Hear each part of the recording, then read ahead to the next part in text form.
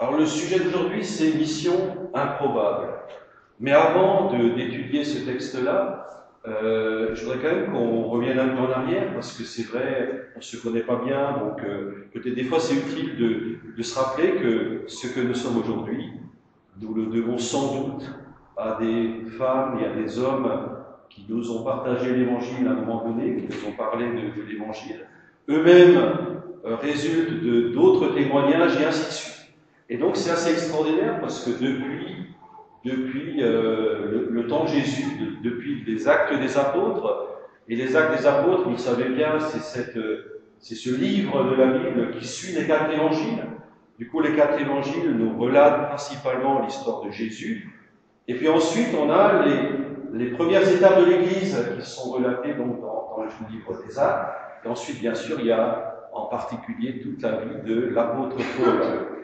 Et ce matin, on va, on va étudier un texte un peu, particulier et qui m'a interpellé il y a quelques semaines.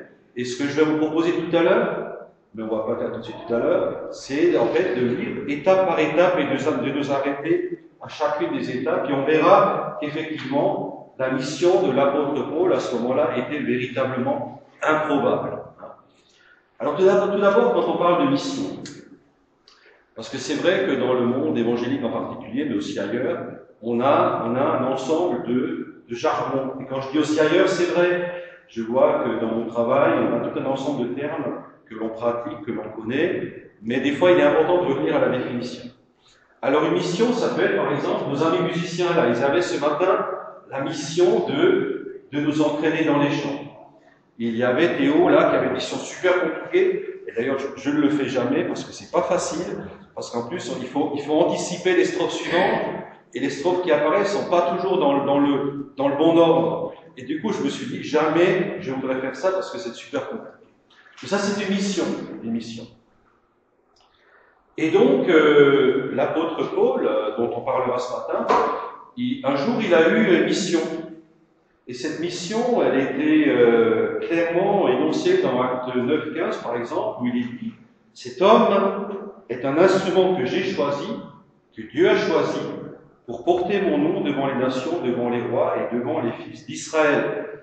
Du coup, il avait une mission, il a été missionné par, euh, par Dieu, et vous connaissez peut-être l'histoire de Paul, sans doute, qu'à un moment donné, il y a eu tout un parcours, parce que Paul, qui s'appelait Saul auparavant, n'était pas du tout chrétien, il était même un, opposant à la foi chrétienne, et à un moment donné, il a été stoppé sous sa route par Jésus-Christ lui-même, et il est devenu chrétien.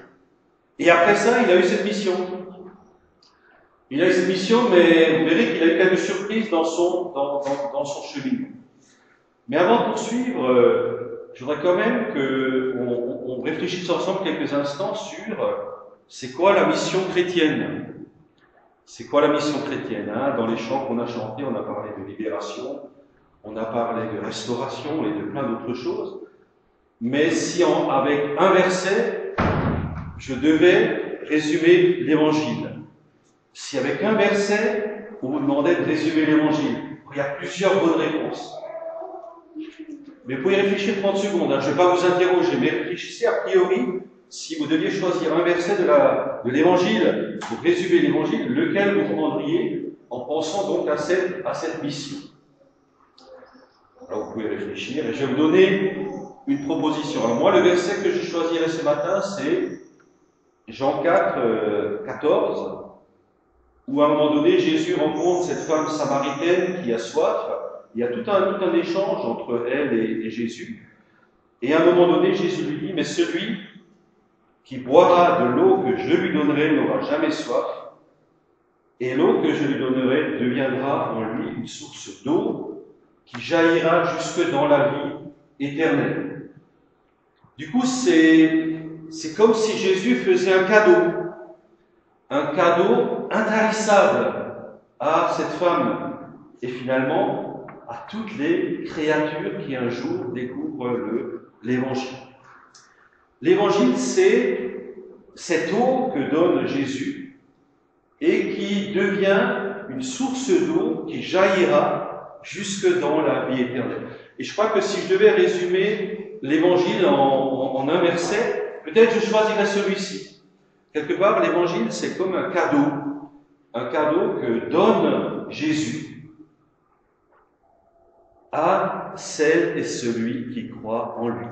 Et finalement, cette source d'eau, c'est quelque chose de précieux. C'est un trésor que nous pouvons avoir au fond de nous. Vous verrez pourquoi je vous rappelle tout ça, parce qu'on en aura besoin quand on parlera de, de ce texte-là. Et puis finalement, ce que Jésus a commandé à ses disciples, c'est de faire connaître cette possibilité à toutes les générations de finalement de découvrir cette eau vive. Et cette eau vive, bien, bien entendu, et vous le savez bien, c'est Jésus-Christ qui va vivre dans la vie de ses disciples à travers son, son esprit. Et c'est un trésor. Et aujourd'hui, chers frères et sœurs, nous pouvons être fiers, non pas de ce que nous avons trouvé ce trésor, mais de ce que ce trésor nous a été donné gratuitement. Et c'est la raison pour laquelle, à un moment donné, l'apôtre Paul, et sans doute aussi vous autres, dans votre nouveau projet d'église, de nouveau bâtiment, c'est ce que vous voulez partager, c'est que cette eau vive, elle n'est pas que pour moi, elle est aussi pour celles et ceux qui sont autour de moi dans cette région de, France. Et en fait, c'est sur ces bases-là que l'apôtre Paul est parti en mission. Il a changé du tout au tout. Il était persécuteur de l'Église, et quand il a découvert cette eau vive, il est devenu un prédicateur de l'Évangile, et on verra qu'il est parti avec beaucoup d'assurance. Et du coup, Théo, on peut passer à la diapositive. Voilà, ça c'est la première partie. Euh, et alors déjà, la première phrase, elle est un peu surprenante, parce que là, on sait bien que l'apôtre Paul, il est rempli de cette eau vive, il part pour aller faire connaître l'Évangile, et, première ligne, ayant été empêché par le Saint-Esprit d'annoncer la parole dans l'Asie, traversèrent la Phrygie et le pays de Galatie. C'est quand même curieux. Il est conduit par l'Esprit, et en même temps, l'Esprit lui dit, non, tu vas pas là, tu vas ailleurs. Surprenant. Mais ça montre aussi que, parfois, effectivement, euh, il nous faut du temps, de la disponibilité pour écouter ce que l'Esprit veut vraiment nous dire. Et on continue. Arrivé près de la Mysie, ils se disposaient à rentrer en. Mais l'Esprit de, de, Jésus ne leur permit pas. Encore une porte fermée. Porte fermée, autre porte fermée. Et je sais que dans l'histoire euh, d'Épinal et aussi de Nancy d'ailleurs, il y, a, des fois où il y a des portes fermées, on ne comprend pas. Mais c'était déjà le cas là, donc rien de nouveau sous le soleil. Ils franchirent alors la Mysie et descendirent à Troas. Pendant la nuit, Paul eut une vision, un Macédonien lui apparut et lui fit cette prière, passe en Macédoine, secours-nous. Après cette vision de Paul, nous cherchâmes aussitôt à nous rendre en Macédoine, concluant que le Seigneur nous appelait à y annoncer la bonne nouvelle. Ça y est, on a la bonne, on a la bonne destination. On ne comprend pas pourquoi l'Esprit à un moment donné nous a dit de pas aller à droite ni à gauche, mais là maintenant c'est clair. On va aller, on va aller donc euh, en Macédoine et on va annoncer la bonne nouvelle. Et Paul était super doué, il avait les dons de Dieu pour faire ça. Et donc là, c'était parti pour la mission. Alors jusque-là, elle n'est pas improbable. Jusque-là, c'est la mission. La mission, effectivement, j'ai reçu de Dieu cette eau vive, je veux la partager autour de, autour de nous. Après, on verra que les choses ne se passent pas comme prévu. On va passer à la diapo suivante, Théo. Alors, euh, j'ai mis comme titre à cette petite partie une conviction, mais des réalités différentes. Alors d'abord, ils ont été empêchés d'aller dans certains lieux. Là, ils partent en mission. Probablement qu'au fond d'eux, ils vont se dire, ils vont avoir des gens qui vont écouter, qui vont se convertir, qui vont découvrir la foi. Et en fait, ce qui se passe, c'est que, comme nous allions au lieu de prière, une servante qui avait un esprit de python et qui, en devinant, procurait un grand profit à ses maîtres, vint au-devant de nous, et se mit à nous suivre. Paul et nous criait, pour Paul et nous criait, ces hommes sont les serviteurs du Dieu haut et nous annoncent la voie du salut. Elle fit cela pendant plusieurs jours. Paul, fatigué, se retourna et dit à l'esprit, je t'ordonne au nom de Jésus-Christ de sortir d'elle. Et il sortit à leur même. Les maîtres de la servante, voyant disparaître l'espoir de leur main, se saisirent de Paul et de Silas et les traînèrent sur la place publique devant les magistrats, et les présentèrent au prêteur en disant Ces hommes troublent notre ville, ce sont des juifs qui annoncent des coutumes qui ne nous est permis ni de recevoir ni de suivre, à nous qui sommes romains. La foule se souleva, aussi contre eux, et les prêteurs, ayant fait arracher leurs vêtements, ordonnèrent qu'on les bâtit de verges après qu'on les eut chargés de tout, les jeter en prison, en recommandant au geôlier de les garder sûrement. Le geôlier, ayant reçu cet ordre, les jeta dans la prison intérieure et leur mit des cèpes aux pieds. Alors là, plus rien ne va. Plus rien ne va. D'abord, ils sont empêchés d'aller où ils veulent aller. Ensuite, ils sont convaincus que c'est la bonne direction. Et là, ils se font euh, arracher les vêtements, se battent, ils se font battre de verge, ils se retrouvent en prison. Et puis, euh, ils ont les sept au pied.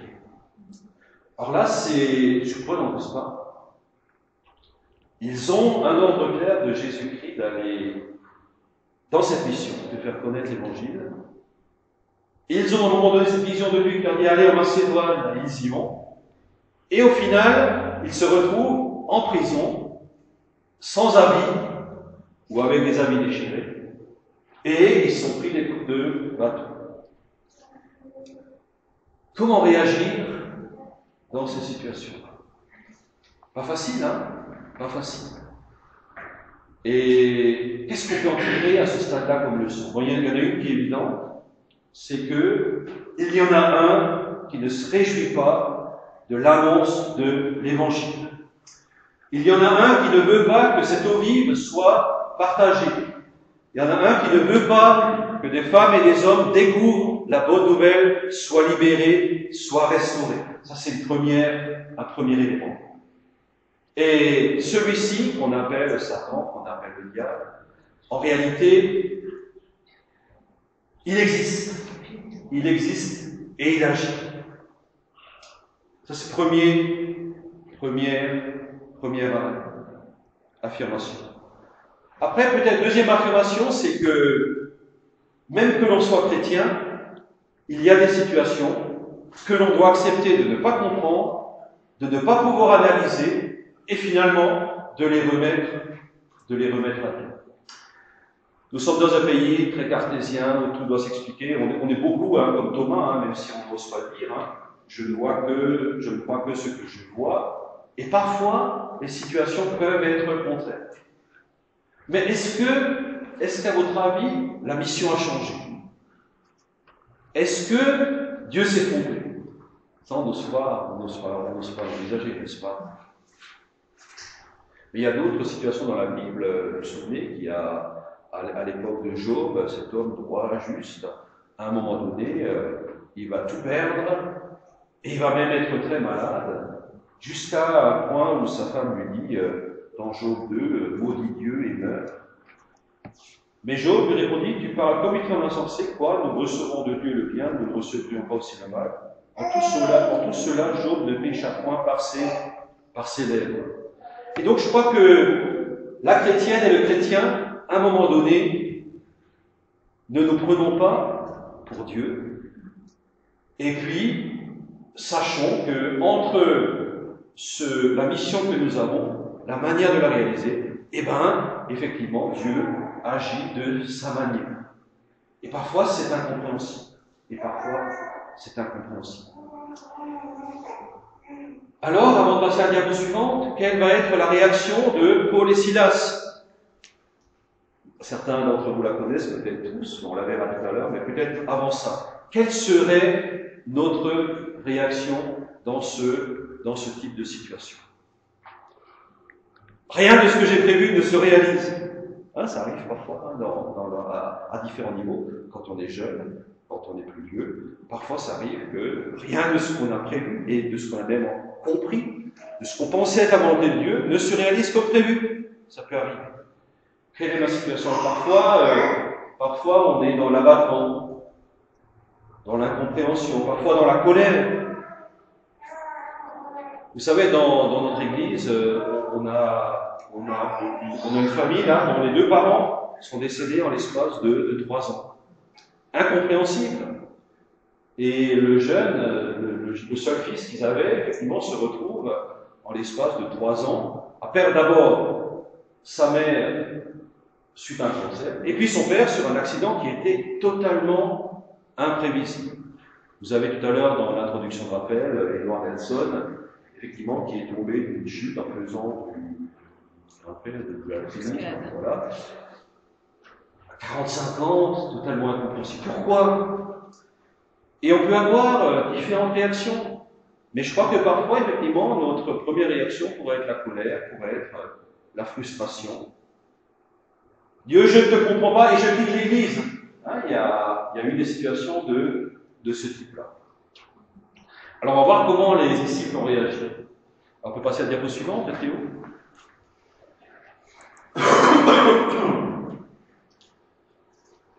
Alors là, j'ai marqué une réaction inattendue des disciples.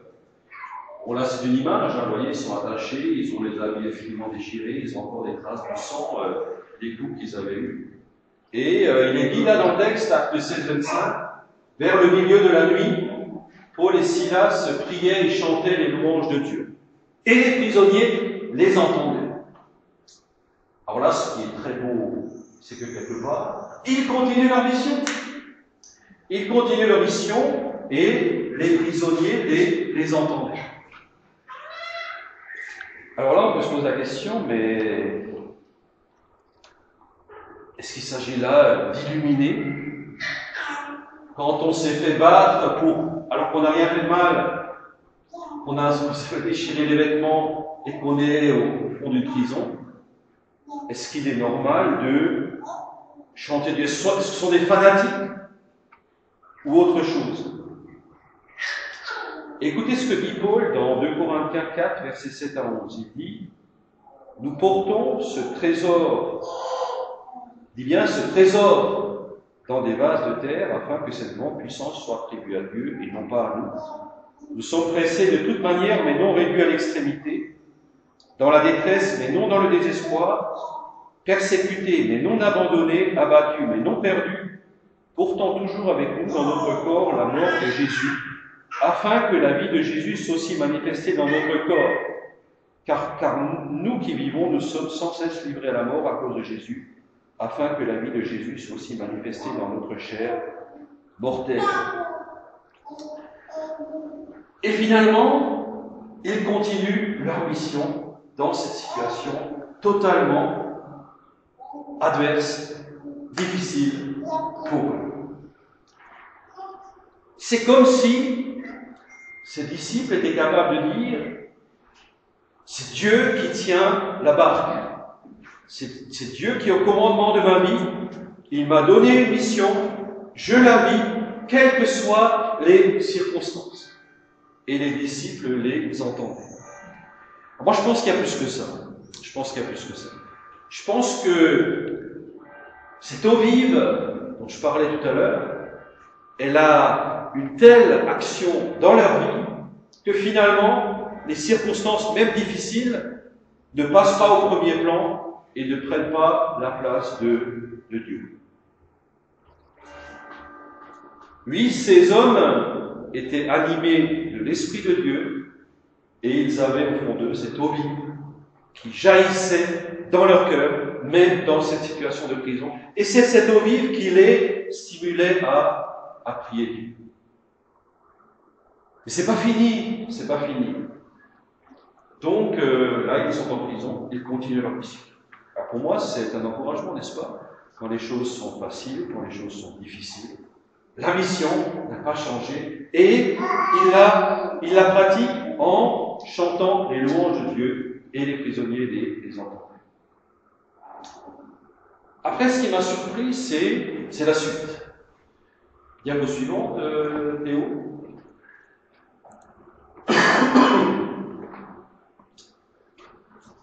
alors euh, il peut y avoir des interventions miraculeuses de Dieu. Vous en connaissez aussi à Épinal et je crois savoir que la nouvelle Église, c'est un peu comme une intervention miraculeuse de Dieu. Quand j'ai nouvelle Église, c'est le nouveau bâtiment, hein, bien, évidemment. Tout à coup, il se fit un grand tremblement de terre, en sorte que les fondements de la prison furent ébranlés. Au même instant, toutes les portes s'ouvrirent et les liens de tous les prisonniers furent rompus. Et c'est là où ça m'étonne euh, l'attitude de, ces deux disciples qui joignent l'action à la parole.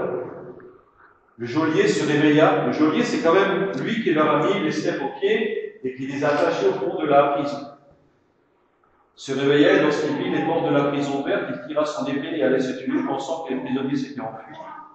Mais Paul cria d'une voix forte, ne te fais pas de mal, nous sommes tous ici.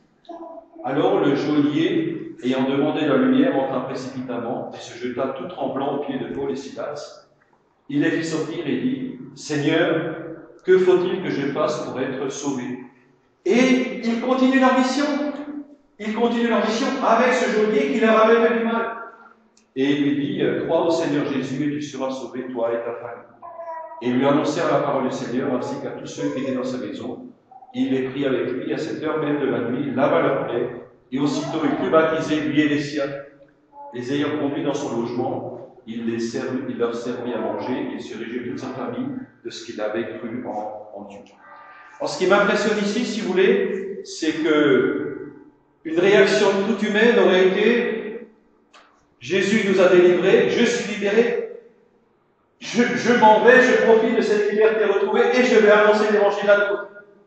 Et en réalité, dans ces moments-là, pour les Silas, ils ont été attentionnés sur les besoins de ce geôlier qui allait se prendre la vie et lui ont annoncé l'évangile.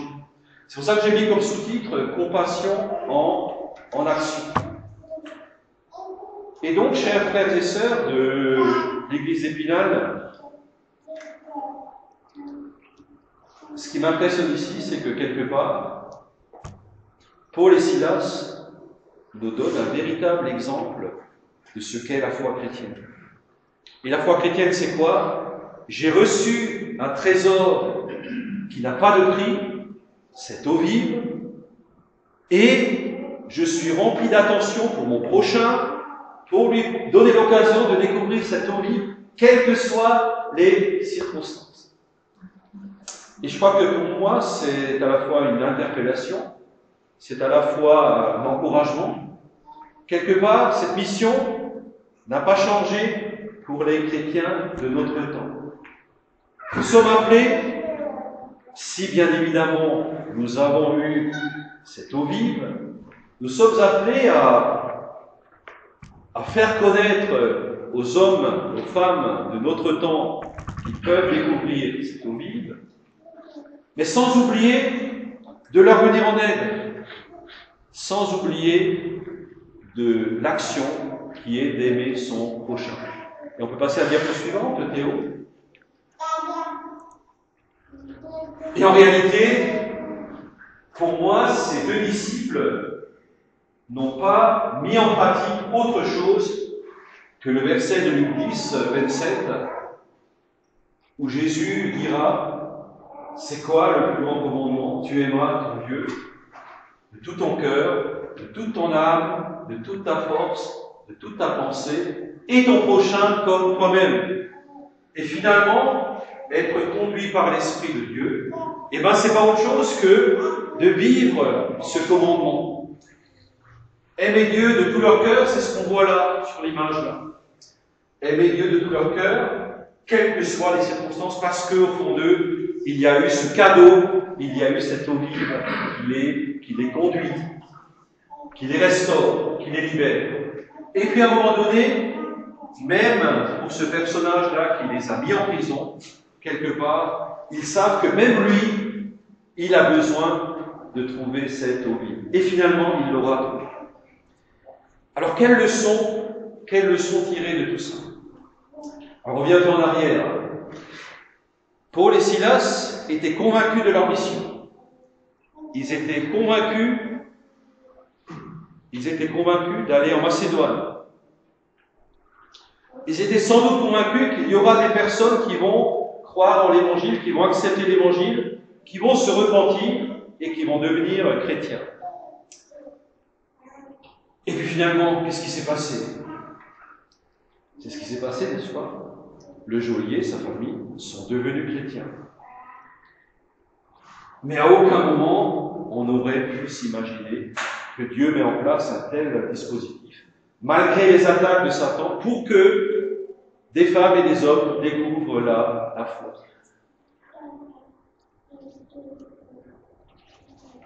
Alors pour nous aujourd'hui, et pour conclure, On se pose sans doute des questions. Pourquoi la violence? Pourquoi les souffrances? Pourquoi la maltraitance?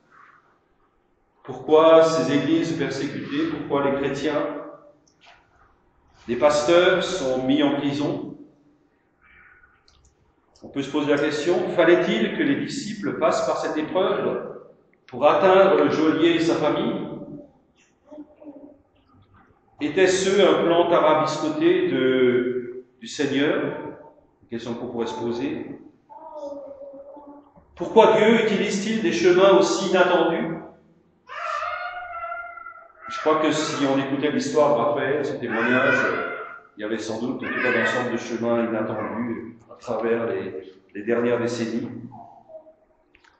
Autre question qu'on peut se poser, est-il possible de conserver une attitude de louange dans une situation qui semble désespérée? Après, là, peut-être que la question de fond que nous devons nous poser ce matin, est-ce que ce trésor, est-ce que cette eau vive dont parle Jésus, est-ce que nous l'avons réellement trouvé? Cette eau vive qui libère, cette eau vive qui vient à notre rencontre, cette eau vive qui jaillira jusque dans la vie éternelle. Je me tiens à la porte et je frappe. Si quelqu'un entend ma voix et ouvre la porte, j'entrerai chez lui. C'est une promesse, c'est une promesse de, de la Bible. Aujourd'hui, les uns et les autres, nous pouvons avoir accès à cette eau vive, à cette eau vive qui nous permet réellement de vivre le plan de Dieu. Alors, ça, c'est des questions. Hein, les Français ils aiment beaucoup se poser des questions. Et puis les réponses, c'est quoi? Quelques éléments de réponse. Alors, tout d'abord, le premier élément de réponse, c'est les voix de Dieu ne sont pas nos voix. Et vous le savez bien, Isaïe 55, 8, car mes pensées ne sont pas vos pensées, mes voix ne sont pas mes, mes voix, dit l'Éternel. Et puis, autre élément de réponse, c'est l'œuvre de Dieu par le Saint-Esprit continue à se réaliser à travers les disciples de Christ qui croient et qui agissent indépendamment des situations. je crois quelque part, ça nous renvoie à nous sommes des disciples, nous sommes des missionnaires, mais nous ne sommes pas le patron. Nous ne sommes pas celui qui pilote nos vies et nos actions. Et celui qui pilote nos vies et nos actions, il sait. Il sait même des choses que nous ne pouvons pas comprendre. Je reprends l'exemple d'Edward Edson, je reprends l'exemple de la famille dont j'ai parlé tout à l'heure.